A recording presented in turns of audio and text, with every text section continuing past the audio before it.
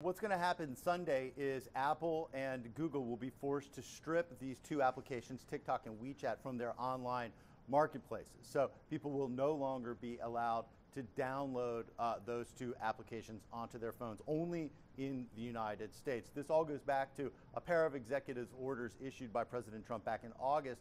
He gave his administration 45 days to take action against these two companies that the U.S. alleges presents a security risk because of the possibility, the U.S. says, that U.S. user data could be shared with the government of China. Now, both of these companies deny any wrongdoing, say they do not and will not share user data with the Chinese government, and the U.S. has put forth no evidence to back up these claims. Repeatedly, we've heard from Beijing accusations that the U.S. is simply doing this to limit the success of Chinese companies in the global marketplace. Part of this, that part of this that deals with uh, TikTok clearly is intended to, at a minimum, put pressure on ten, uh, uh, to put pressure on ByteDance to come to a conclusion for this ongoing deal that we expect President Trump to make a comment on at some point today. The deadline for that, like the deadline to remove these apps from the marketplaces, is also Sunday. Back to you. Now, Jim, clearly this uh, new executive order is going to have an impact on TikTok and WeChat users in the United States.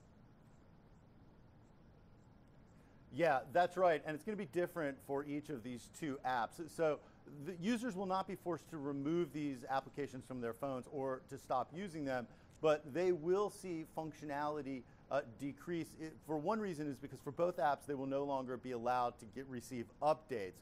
But for uh, WeChat, immediately they will be stripped of some of its technical uh, capabilities. So immediately we expect users of WeChat to see uh, performance decrease, to see lags, to see outages, uh, et cetera.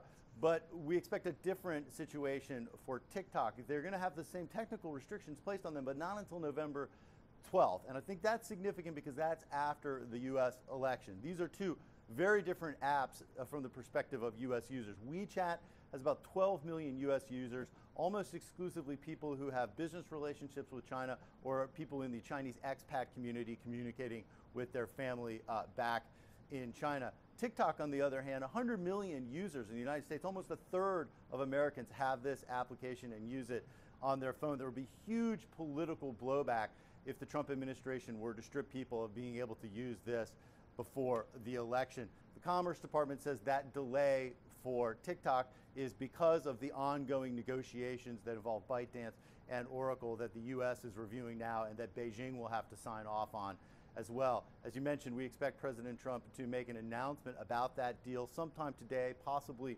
tomorrow, and there's entirely possible that the order regarding uh, TikTok could be rescinded before the Sunday deadline if they are to come to terms with a deal. But as far as WeChat goes, it seems inevitable that starting Sunday, we will begin to see this application fade away from users here in the United States.